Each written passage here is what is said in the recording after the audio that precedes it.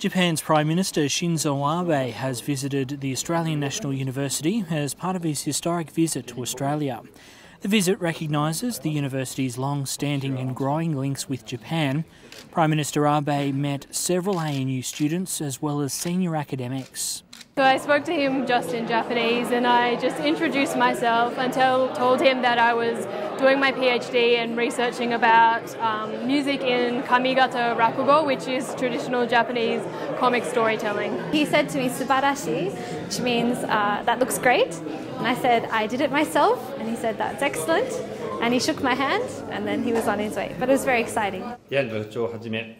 I appreciate the warm welcome from Vice Chancellor and President Ian Young, as well as all of you. I am delighted to be able to visit the Australian National University that has deep connections with our country. I believe that exchanges between the youth who bear the future of Japan and Australia will further deepen the bond between our two nations, and I sincerely hope that exchanges between the two universities will become ever more active. He also witnessed the signing of a new agreement between the Vice Chancellors of the ANU and Ritsumeikan University in Japan, opening the way for more student exchanges and research collaboration.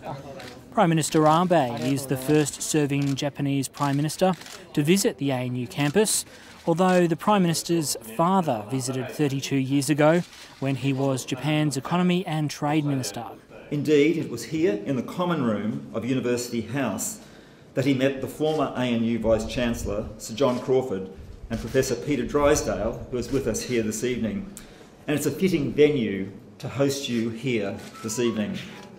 These visits are indeed a symbol of the close relationship between the Government of Japan and ANU, and a relationship which has been embodied in the Australia Japan Research Centre, an example of the very significant expertise ANU has in the study of Japan. Prime Minister, you do us great honour by making time in your very busy Australian visit to meet the staff and students from ANU